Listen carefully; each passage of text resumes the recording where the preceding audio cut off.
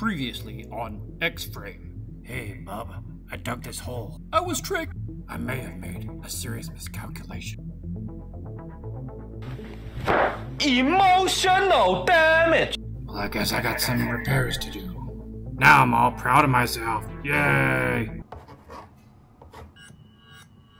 Don't do that. Hello and welcome to our channel Think Build Test. In this episode, we're going to be taking this ordinary pit into the extraordinary. As you saw, we're bringing down metal in here. We're going to start fitting things up. I'm going to discuss with you all the viewers my design along the process because how many of us out here are visual learners? This guy. So taking something and just putting it on paper, my brain doesn't handle it very well. So if you can relate, then you're going to enjoy this series because we're going to take and lay stuff out, and I like to call this visual engineering, practical engineering. Now, this channel isn't exactly a how-to channel.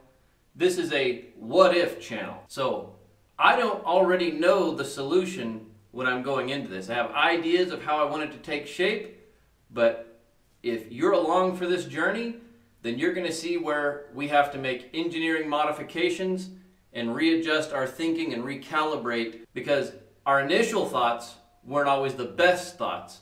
But as we get into practical application, we start to discover things and maybe we learn why things are already done a certain way and maybe we find a new way to do it better.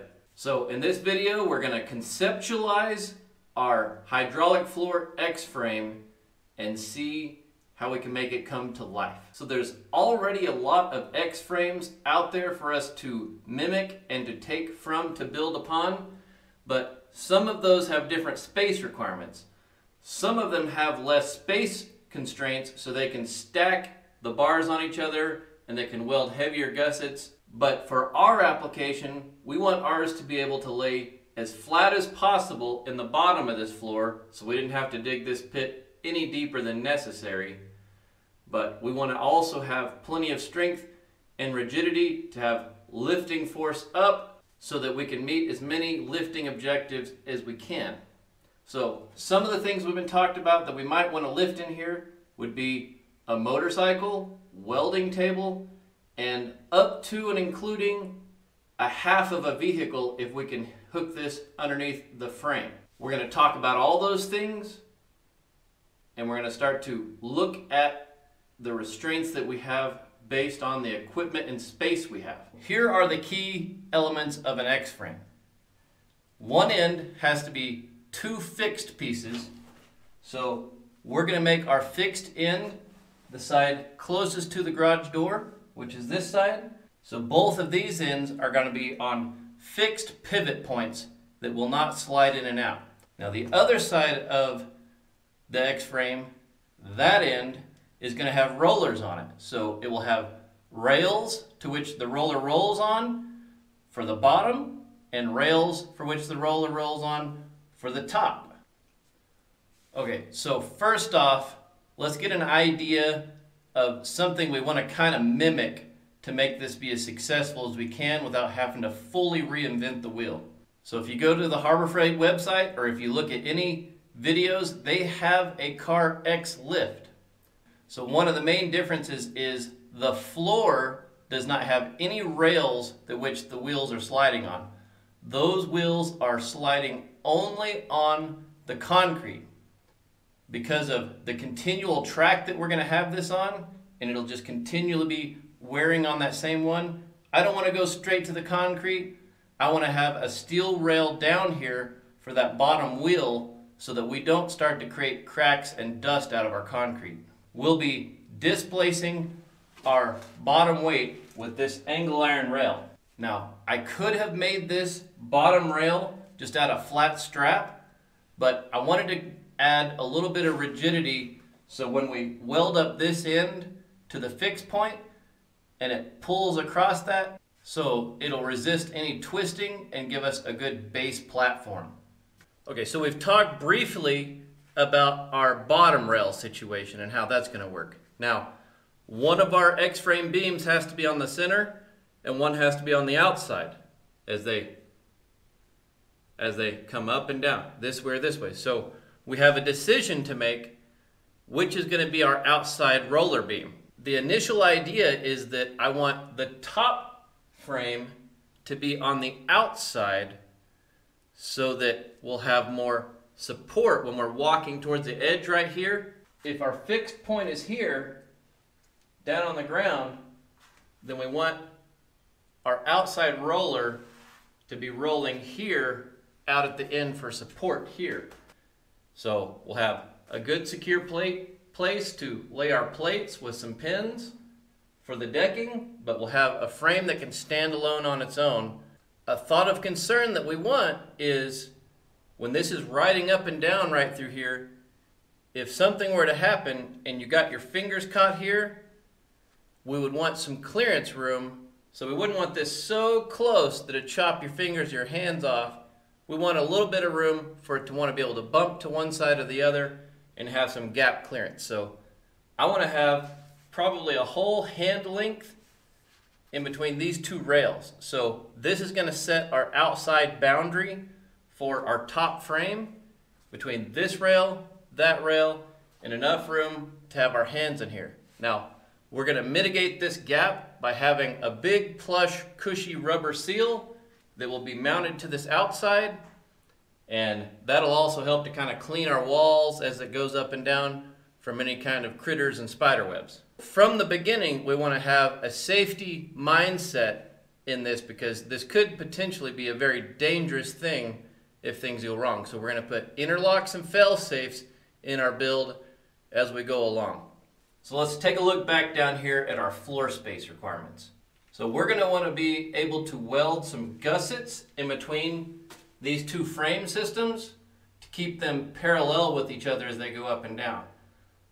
If we leave this all the way down flush to get our flattest platform that we can get, then this outside one isn't going to get any gusseting. So we can mitigate that in two ways.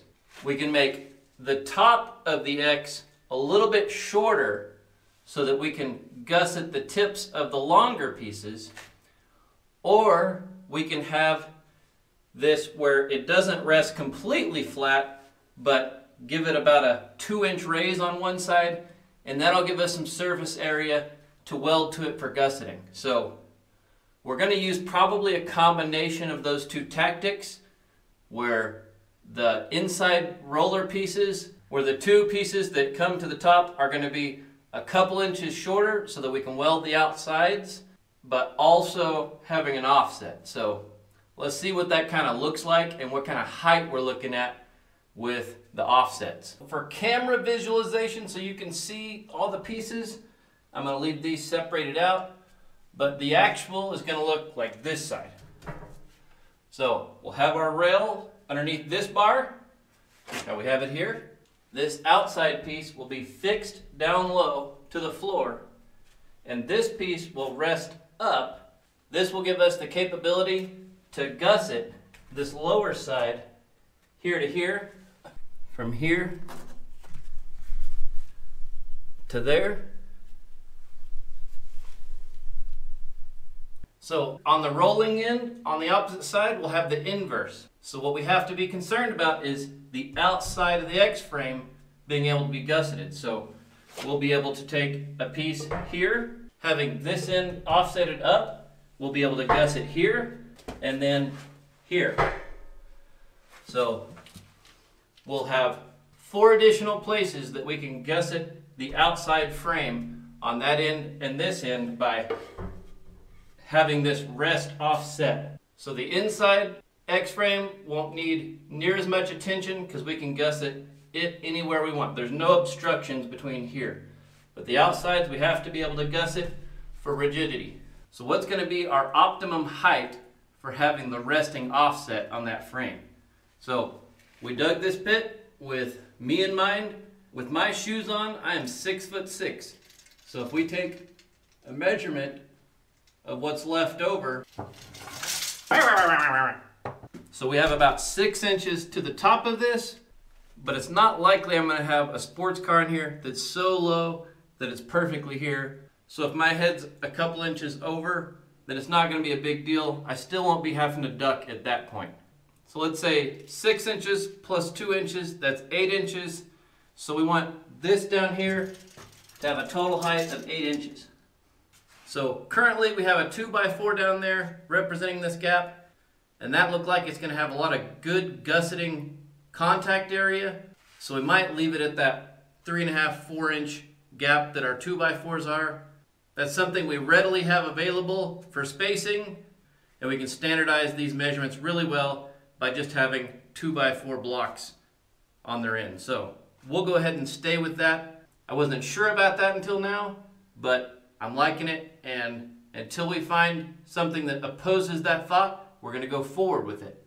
Okay, so one more thing while we got this down below, and then we'll bring this X-frame up into position. Our last consideration while we have this down here is we're gonna have to have a really solid bar where our hydraulics are gonna lift on this rising side. We'll call this the hydraulic here. We'll be planting the base of our hydraulics at this end, and they're gonna be extending this way. So somewhere on this side of the half, we'll be having to place this brace on the inside between here and here so that this can lift. Once we get our hydraulic rams in, then we'll be able to get our final set place where this is going to go collapsed.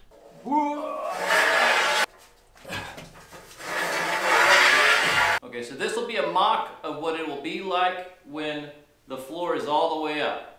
We'll use our imaginations to pretend that this is down a few inches, but this is the safe way I can do to mock it up with some blocks and some clamps. This end will be fixed. This will be a pivot only on this end on the top. And this is going to be the inside beams going up and down in the X-frame. Okay, so over here, you can see that our arms have moved in. These ends are going to be on rollers. They're going to be rolling on the inside of this rail. So we've lost about 30 inches of support from this end. So if we have to do any heavy lifting, we don't want to do it from this point to here. From here to there, it's going to be super strong, super solid. Could lift a motorcycle, lift, possibly lift a car, lift our razor up. So the only thing we want to be supporting at this height is body weight so that we can be over here going up and down two to 300 pounds out on the edge of this. This three inch angle iron can handle that no problem. All right, so here's the bottom side view of what this looks like. So what we can see is if this is where we plan to put the most force going up because we'll have our extended hydraulic pushing to here. So this will be our triangle of strength from the ram, from the hydraulic ram to this point to this point. So this is going to be where we can do the most lifting.